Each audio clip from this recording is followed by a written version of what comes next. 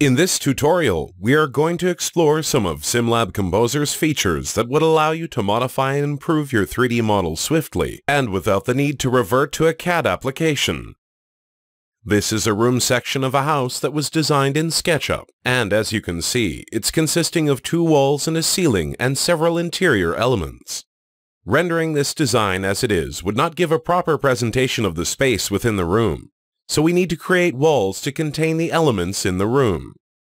Go to Create menu, and from Paths, select Composite Path. The composite path we are about to create will serve as an outline for the walls we need to create.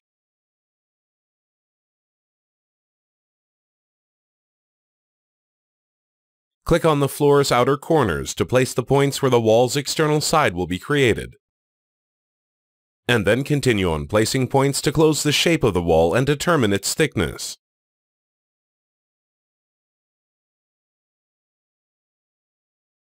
Once you're satisfied with the outline path you created, click on the green mark.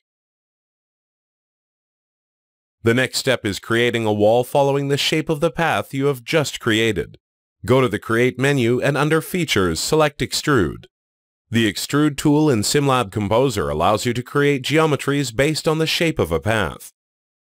Select the path you created earlier and set it as the profile for the wall extrude operation. Then determine the height of the wall you're planning to create and click OK.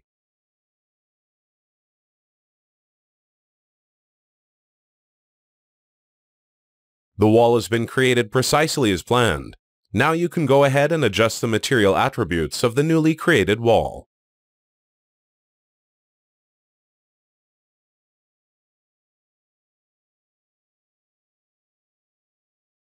To add a window to the wall, go to the 3D Models library and drag the window to the 3D area. Rotate the window and position it on the wall.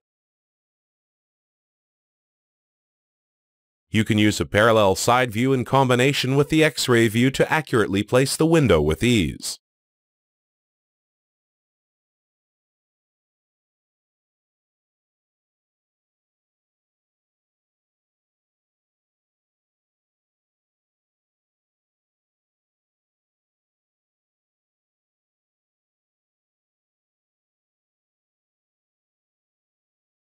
To create an opening in the wall at the location of the window, go to the Create menu, and with the window selected, click on Bounding Box. A bounding box is a ghost box that is created based on the outer frame of the selected object. Using the scale points of the bounding box, you can extend the box in any direction. The bounding box we created will be used as a guide to crop a portion of the wall where the window sits. Go to the Geometry window and select the Difference Boolean operation. Select the wall as the first 3D object and click on the green mark to confirm it, and set the bounding box as the second 3D object. Click on the green mark to perform this operation, and subtract the shape of the bounding box from the wall. As you can see, the window now fits perfectly in the wall with an opening that allows the sunlight to go into the room.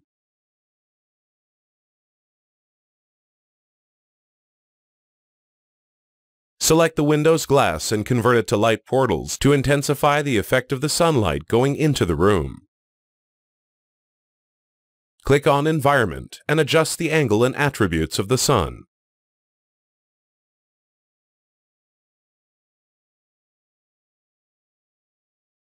Then set the camera's angle for an interior shot.